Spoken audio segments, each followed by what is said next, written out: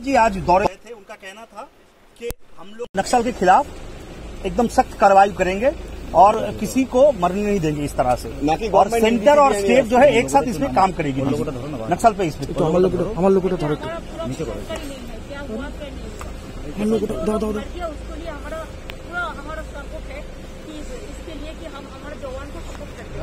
हम दुखी है लेकिन क्या हुआ कैसे हुआ वो हमको ढूंढना भी है।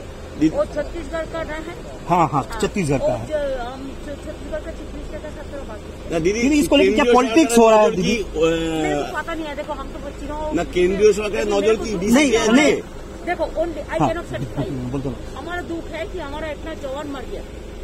उसका पति हमारा पूरा श्रद्धांजलि है उसका परिवार का पति।